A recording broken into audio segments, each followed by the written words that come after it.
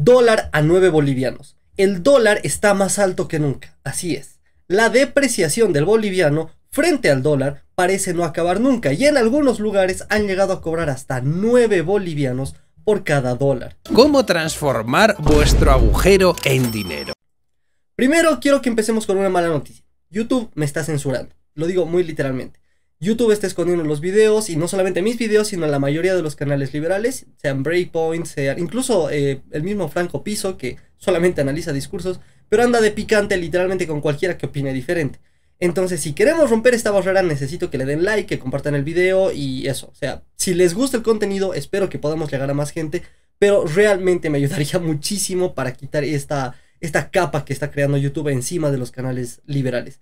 Así que nada, espero que puedan suscribirse, denle like, comenten y con eso empezamos. Mientras el gobierno nos miente con un dólar Disney, que es básicamente un dólar ficticio con un precio fijado, un, un precio irreal, digámoslo así, el mercado ya ha empezado a trabajar. Y hoy en día en Bolivia ya se puede encontrar dólares hasta en 9 bolivianos, considerando que el precio oficial es 6.97. ¡Que venga un paramédico! ¡No veo! Mercado negro, la mayoría tenemos que comprar de 100 en 100 en 100 dólares para poder eh, reunir a mil, en mil dólares y poder comprar nuestros insumos. Y por ende, si no compramos los insumos, ¿cómo vamos nosotros a, a producir? Y realmente con estos bloqueos producimos y tampoco podemos ir a vender. Entonces es realmente insostenible todo lo que está pasando. Que de una vez viabilice el comunicado que se ha lanzado, que se haga en efecto y que de una vez manden otra vez, que cumplan de una vez y que los bancos nos den, pues, y que nos vendan los dólares, pero al precio que antes lo teníamos, porque nosotros no podemos sumir, eh, subir nuestro, nuestra, eh, el, el, costo de nuestra producción, lamentablemente, contrabando, la ropa usada va, va matando día a día lo hecho en Bolivia, porque podemos encontrar en cualquier tienda en el centro una, una blusa de 10 bolivianos. Y nosotros no, ni no, realmente el costo es, no cubre, es muy lamentable lo que está pasando con nuestro sector y es que necesitamos de una vez una reactivación económica. Es por eso también que ahora estamos asistiendo a la rendición de cuentas del ministro de, de Desarrollo Productivo y espero que también eh, se haga viable todo lo que se ha, se ha estado acordando en este tiempo. Primero que todo, yo también soy emprendedor y no me siento representado por la señora, porque yo no he escogido a nadie y también soy emprendedor. Pero más allá de eso, del hecho de colectivizar todo el tiempo a todos, estamos hablando de que ella se queja de que el problema es que el gobierno no está controlando más, cuando sabemos que el problema es el control, señora. Vienen ustedes, ustedes vienen quejándose del precio del dólar desde el principio del año pasado. ¿Ha mejorado algo con la cantidad de controles de precios que han puesto? No, no ve. Entonces el problema no es el control de precios, ni siquiera el control del contrabando. El problema es que el mercado es incapaz de adaptarse a la velocidad de impresión del Banco Central. Ese es el problema. Pero a mí qué me importa si ahorro en bolivianos, dirán algunos, ¿no? Pues no, no funciona así. Te voy a explicar, ¿ok? Pequeño Timmy, el dólar no es nada más que otro producto que cualquiera puede adquirir en el mercado. ¿Qué quiere decir eso? Es la forma más sencilla de entender cuando los bolivianos valen menos. A eso le llamamos inflación. Es decir, si antes un billete de 10 bolivianos te alcanzaba para comprarte 100 dulces, por ejemplo, 100 masticables, ahora vas a poder comprarte solamente 50, es decir, la mitad. Si antes podías pagar el servicio de 5 pasajes de minibús, ahora vas a poder comprarte la mitad, vas a poder adquirir la mitad. Eso no se ve tan fácilmente, eh, por ejemplo, en subsidios, porque puedes ponerle más subsidios. O en el caso de los masticables, puedes traerlos de contrabando. El problema es que no puedes hacer lo mismo, no puedes hacer artimañas sucias contra el mercado cuando se trata de dólares. ¡Es una mierda! Es por eso que los dólares se utilizan de referencia para medir la inflación, pero no son la causa de la inflación. Habiendo explicado esto, se puede decir entonces que la inflación es siempre y en todo lugar un fenómeno monetario. Más allá de eso, esto, esta breve aclaración es para todos aquellos que van a entrar en los comentarios a poner es que el imperio yankee es el que está poniendo el sobreprecio. No, no, no, señor. O sea, el, el problema no es que el señor yankee esté poniendo un sobreprecio. Eso no existe. El problema es que tu gobierno está imprimiendo demasiados billetes. Ese es el problema. Buenas. Más allá de eso, el problema de tener un precio fijado, el problema de tener un precio oficial, el problema de que el gobierno sea el que controla el precio, es que la brecha entre lo real y lo que básicamente te da el gobierno empieza a ampliarse. ¿Qué quiere decir eso? Que la gente empieza a tener una dificultad para ubicarse en cuál es el precio real de las cosas. ¡A estudiar! Ok, para poder explicar esto vamos a intentar explicarlos con un sistema de carros, es decir, con un sistema de indicaciones para que algunos se detengan y otros puedan avanzar. Ok, si tú estás en un carro y tú ves que el semáforo está en rojo, entonces ¿qué va a pasar? Te vas a detener, ¿no ve? Porque sabes que si avanzas, lo sabes, van a chocarte. Y en el otro carril saben que tienen que avanzar. ¿Por qué saben que tienen que avanzar? Porque el verde les indica que tienen que avanzar. ¿Eso qué significa? Que de alguna forma pueden predecir el comportamiento de lo que está pasando. Ok, ahora ¿qué pasaría si en vez de ser 3 colores fueran 15 colores? ¿Ok? Y en vez de ser un semáforo fueran 4 semáforos diferentes. Y además esos semáforos se cambiaran por ley todos los días. ¿Qué es lo que pasaría? El señor que esté en el auto no sabe lo que tiene que hacer y no sabe lo que va a pasar. Porque no sabe si se tiene que detener, no sabe si tiene que avanzar y no sabe si se detiene, si se van a chocar los de atrás, si le van a tocar la bocina, no, no sabe nada. ¿Por qué? Porque no es predecible. Ahora, ¿qué tiene que ver eso con el precio del dólar? Esto se va a poner feo. Digamos que ustedes van al mercado y se encuentran la libra de tomate en 2 bolivianos o en 3 bolivianos. Y la anterior semana, ustedes que han ido, no han podido comprar su tomate porque estaba en 5 bolivianos. Eso es una señal de que el precio del tomate ha bajado. Puede ser por la sequía, puede ser porque el productor haya, haya decidido producir más, quién sabe. Quizás ahora tiene maquinaria nueva, no lo sabemos. Lo que sí sabemos es que es más barato ahora. Por lo tanto, me conviene más comprar ahora que lo que hacía la semana pasada. Dentro de una semana vuelven a ir al supermercado y encuentran que la libra de tomate ahora está en 10 bolivianos, ¿ok?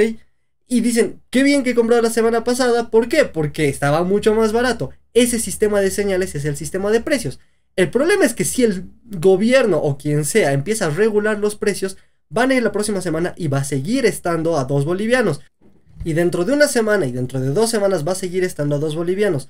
¿Cuál es el problema? El productor ahora tiene que producir más, a pesar de la sequía, a pesar de que no tenga maquinaria, tiene que empezar a producir más para poder estar en el mismo margen de precios que está regulado por el gobierno. ¿Me entienden por dónde va esto? eventualmente el productor no va a poder compensar el precio de las cosas con los gastos que está teniendo. ¿Por qué? Porque el gobierno ha fijado un precio para las cosas. Pero además de fijar un precio ha hecho que el dinero valga menos. Por lo tanto, él puede comprar menos maquinaria, puede comprar menos tierra, puede pagar menos empleados y ahora tienen que empezar a pagar más. Entonces, como ya no es sostenible, él va a quebrar. Y obviamente tiene la competencia, yo que sé, de 10 mm, otras empresas que hacen exactamente lo mismo. Pero esas empresas están sometidas a lo mismo. Y el dinero no es infinito y la paciencia tampoco. Entonces eventualmente todas estas empresas van a ir quebrando de a poco. Entonces estas 3 o 4 que van a quedar, que van a ser porque tienen ayuda del gobierno, lo que sea, van a empezar a cobrar mucho más caro el precio porque ya no van a tener competencia. Entonces todos los precios empiezan a subir en conjunto. ¿Cuál es el problema? Eso no te vas a dar cuenta al tiro, a no ser que sea un producto que no puedas producir tú. Por ejemplo, el tomate todavía puedes subsidiarlo y puedes meterle un poquito más de paciencia y ganas a ver si prospera. El dólar no. El dólar es algo que tenemos que traer sí o sí, porque se imprime en otro lugar. Es por eso que es más fácil ver con el dólar la inflación. 10. 8.10. El día de ayer yo he comprado a 8.10. Es demasiado. Es demasiado, ya no son sostenibles.